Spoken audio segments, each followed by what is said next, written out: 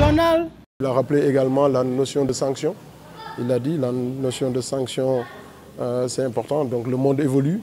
Euh, c'est vrai que Allah a montré toute sa tolérance pour euh, la, la islamique, la Oumma du prophète Mohammed sallallahu mais de rappeler que euh, euh, le monde doit évoluer et que les sanctions doivent s'adapter également pour que tout le monde sache qu'on n'a pas le droit, droit, droit, de tout faire dans, en communauté, qu'il y a des, il y a des, en tout cas des, euh, des lignes rouges qu'il faut respecter et que si les gens dépassent ces lignes rouges, la communauté, comme la communauté l'a toujours fait, doit euh, mettre en place des règles qui puissent permettre à chacun de leur rappeler euh, leurs devoirs et leurs obligations.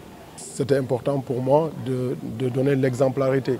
Donc venir ici à Ziguinchor, euh, dans la grande mosquée, voir que plusieurs euh, euh, musulmans qui sont là n'ont pas de masque, ce n'est pas une très bonne image euh, pour respecter en tout cas les, consignes, en tout cas les recommandations des autorités sanitaires, parce que la pandémie est toujours là, l'imam l'a rappelé, et monsieur le maire l'a rappelé quand nous avons voulu le saluer après les prières, il nous a demandé que ce n'était pas une exigence de serrer la main, une exigence musulmane de serrer la main, que assalamu alaikum suffisait largement pour euh, respecter et pour euh, saluer euh, son prochain. Donc, donc l'imam le vit quotidiennement.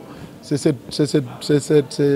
cela que nous avons voulu faire. Nous le vivons quotidiennement, partout, dans les marchés, dans nos quartiers.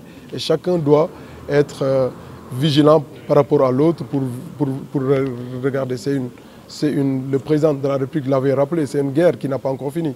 Donc je le rappelle tantôt, c'est une guerre euh, contre une pandémie qui a, qui a fait souffrir euh, beaucoup, de, beaucoup de notre économie, euh, la santé des gens, qui a menacé la vie des gens.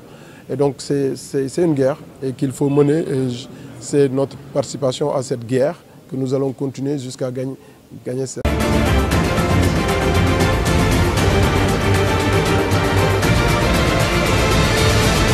regional